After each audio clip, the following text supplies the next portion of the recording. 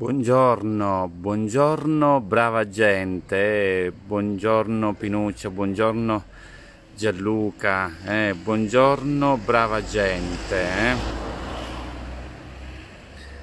Come state stamattina? Mm. Buongiorno, buongiorno davvero a tutti voi. E oggi è Santa Marta, eh. ricordiamo tutti l'episodio del Vangelo di Marta e Maria eh, oggi ci aiuterà nella riflessione questa figura. Intanto faccio gli auguri a tutti coloro che si chiamano Marta e a tutti coloro che vivono una vita ricca di operosità, perché Santa Marta è la patrona delle persone operose, eh, delle persone che lavorano, che si impegnano, eh. potremmo chiamare degli staccanovisti, va? Che ne dite? Mm.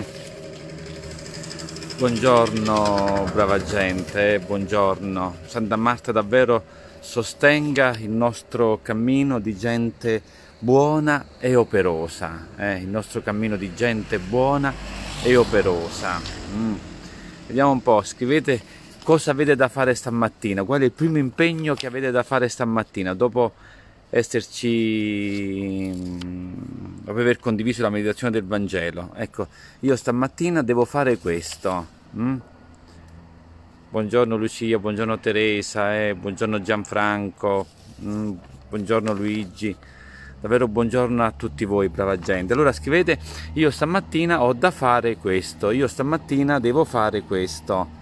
Mm. Poi una cosa, una cosa che volevo dirvi davvero con il cuore, ma quando ci alziamo la mattina, quando ci alziamo la mattina, lo facciamo il segno della croce, eh, vi voglio vedere, eccoci qua. La mattina, appena ci alziamo, un bel segno della croce in nome del Padre, del Figlio e dello Spirito Santo. Amen. Per mettere proprio tutto quello che facciamo sotto lo sguardo amorevole di Dio. Mm? Lo fate? Sì o no? Bene allora, bene, mi dite di sì, quindi lo fate il segno della croce, è la cosa forse una delle cose più belle la mattina appena ci alziamo, farci questo segno della croce delicatamente, dire Signore, affido a te. Eh, oggi è il compleanno di mio figlio Vincenzo, Giovannina, sicuramente prego per tuo figlio. Mm? E Marta, tanti auguri, ecco qua, c'è una Marta, c'è Marta Funaro. Mm. Bene, andiamo al Vangelo di oggi allora, andiamo al Vangelo di oggi. Eh, come vedete non sono ad Assisi, poi dopo vi dico, vi dico il perché. E eh, vi porto in un uh, luogo particolare stamattina, ma intanto ascoltiamo il Vangelo. In quel tempo molti giudei erano venuti da Marta e Maria a consolarla per il fratello. Marta dunque, come udì che veniva Gesù, gli andò incontro. Marta invece seduta a casa. Marta disse a Gesù, Signore, se tu fossi stato qui, mio fratello non sarebbe morto. Ma anche ora so che qualunque cosa tu chiederai a Dio, Dio te lo concederà. Gesù le disse, tuo fratello risorgerà. Gli rispose Marta, so che risorgerà nella resurrezione dell'ultimo giorno.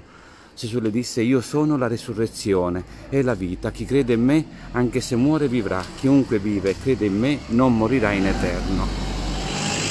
Credi questo? Gli rispose, sì, o oh Signore. Io credo che tu sei il Cristo, il Figlio di Dio, colui che viene nel mondo. È un bellissimo, una bellissima pagina di Vangelo, una, davvero una bellissima pagina di Vangelo. E eh, cosa ci dice questa pagina straordinaria di Vangelo? Intanto qua si mette eh, in luce alcune caratteristiche del nostro cammino cristiano. La prima, Marta corse da Gesù. La seconda, Marta professò la fede in Gesù. Terza, Marta operò, operò e ospitò. Mm? Cioè, Marta eh, si dà da fare per Gesù. Ecco, io credo che siano uh, tre verbi straordinari. Il primo è quello di correre. Vedete, la nostra vita molte volte è tutta una corsa. Eh? Corriamo a destra, corriamo a, ba- a manca, gli affanni. Eh? E uh, questo correre ci dice anche un po' il senso della ricerca quante volte nelle nostre affermazioni Gesù ma dove sei? Gesù ma dove sei? Eh? Eh, Gesù mostrati, eh? Gesù vieni a noi. Um, e c'è davvero un, un, affanno in questa ricerca, è un po' questo correre. Direi che la vita si intreccia con la fede, la fede si intreccia con la vita, eh, di gente che è in ricerca. Eh. Ed è bellissimo questo aspetto. Eh. Noi vogliamo essere di quelli che, vedete, anche se sbagliano, ma corrono, camminano. Poi la seconda dimensione, la seconda dimensione è professare questa fede, professare. Io credo che tu sei il Cristo, il figlio di Dio. Eh? Cioè rinnovare la nostra fede nel Signore. Per i non credenti sarà eh, rinnovare la fede nei valori eh, che nobilitano la vita dell'uomo, che fanno esistere l'uomo. Per il cristiano in Gesù, questa fede in te. Ed infine, eh, eh, vedete, la professione di questa fede può avvenire in qualsiasi momento della nostra, fede, della nostra vita. A volte ci sono dei segni eh, grandi, pensate a Centurione sotto la croce, davvero costruire il figlio, de, figlio di Dio. Eh. Il Signore ha i suoi tempi, il Signore ha i suoi tempi. E poi operare, eh, operare. La caratteristica di un cristiano è che sia un buon operatore, eh, eh, che allontana il male, eh. l'operare facendo il bene, eh. non scoraggiandosi, non scoraggiandosi. Mm. Io credo che questo sia, sia da vedere qua la gente di questo piccolo paese, Scala, che si inizia, inizia ad operare, c'è chi inizia a restaurare questa chiesetta, la chiesetta di San Pietro, c'è chi va a fare la spesa, eh, c'è chi esce da casa per andare al lavoro nei paesi limitrofi, eh, c'è chi va ad aprire il negozio. Io credo c'è chi sta pulendo, eh, sta, mettendo, sta stendendo i panni, chi ha fatto il bucato, c'è tutta una serie di impegno. Eh. È bellissimo che ci dice come noi, come noi operiamo, come noi operiamo. Mm? Ehm, se questo... Um, ah, poi c'è un'affermazione molto bella che ho trovato, che condivido, no, su questa operosità di Marta che sembra quasi un rimprovero di Gesù. Sentite Sant'Agostino cosa dice di Marta. Marta, tu non hai scelto il male, Maria ha scelto meglio di te, Sant'Agostino, straordinario, eh? ehm, è quasi a smorzare perché poi molte volte si fa del moralismo no? sulle persone che lavorano, si impegnano, eh, ecco, ehm, non prega, non fa questo, è bellissimo Sant'Agostino, ci dà davvero gli occhi giusti per vedere le cose, eh. tu non hai scelto il male, eh.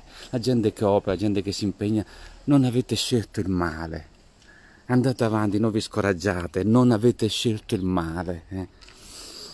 Eh. Ehm, tutto questo avviene in un luogo, eh. questo cammino di Maria noi lo mh, mm, fotografiamo in un luogo che è Betania, che è vicino a Gerusalemme ed è un luogo di sosta di Gesù. Gesù va degli amici, benedetta l'amicizia. Eh. Non tradiamo mai l'amicizia. Eh rispettiamo l'amicizia, rispettiamo l'amico, come Gesù ci insegna in questa pagina straordinaria. E vedete, e qui Gesù, mm, quindi se ci troviamo nei pressi di Gerusalemme, sapete che molte tensioni, Gesù vive a Gerusalemme dove sarà poi ucciso e messo a morte eh? e eh, l'amicizia è così forte che bello, adesso passiamo, eh, siamo mossi da, Maria, da Marta, adesso andiamo sulla figura di Gesù. Gesù è il rapporto con gli uomini.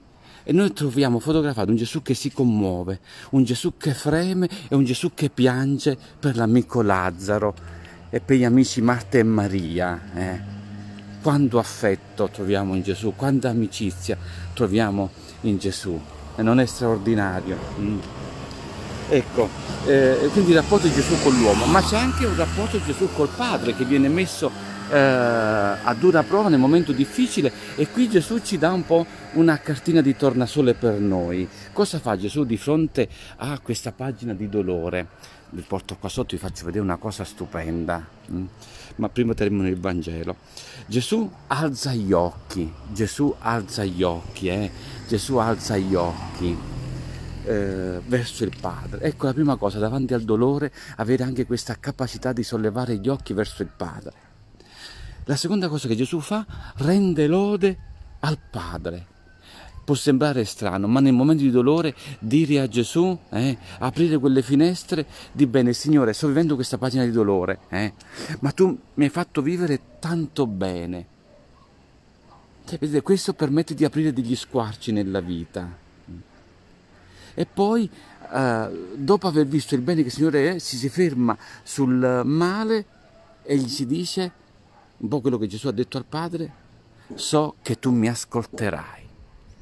Ecco, io credo, e termino questo commento al Vangelo di oggi, che di fronte a qualsiasi momento difficile nella nostra vita dobbiamo maturare questa espressione di Gesù. So che mi ascolterai e andiamo avanti. Mm? Glielo diciamo a Gesù. Mi avete scritto tantissime lettere, bagnate davvero dalle lacrime, avete scritto tantissimi pensieri, eh, davvero animate da tanta sofferenza. Mi avete scritto tantissimi pensieri, eh? animati da tanta speranza. Vorrei che su quei pensieri che mi avete scritto ora noi potessimo sottoscrivere sopra, io so, Padre Enzo, che il Signore mi ascolterà. Mm? Bene, cari amici, eh, ci aiuti Marta e Maria oggi. E termino con una preghiera di San Gregorio Nanzianzio di fronte a questo miracolo che Gesù opera di, di resurrezione di Lazzaro, perché viene ascoltato.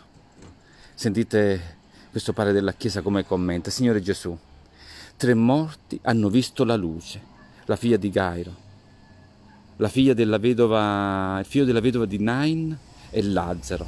Fa che io sia il quarto a vedere la luce, eh, che direi si, eh, eh, si, colloca con quell'affermazione di Gesù. So che mi ascolterai. Eh. Vi auguro davvero questa pagina bellissima di Vangelo. Eh. So che mi ascolterai. Mm. Sì, Signore, so che mi ascolterai. Bene allora, cari amici, intanto faccio gli auguri oggi vi porto però a vedere questo luogo straordinario. Voi sapete che il 3 settembre qui a Scala ci sarà una diretta su TV 2000, verrà il cardinale Becciu, eh, da Scala è partito il Beato Gerardo Sasso, come da Assisi è partito San Francesco per eh, la Terra Santa.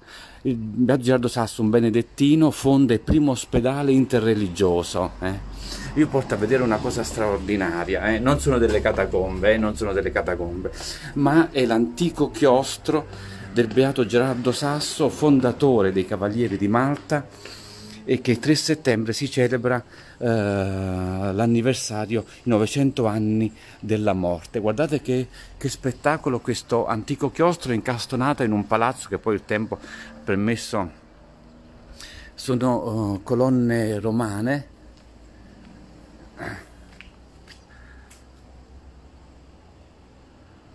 Ecco, questo era il chiostro del beato Gerardo Sasso, eh? da dove è partito.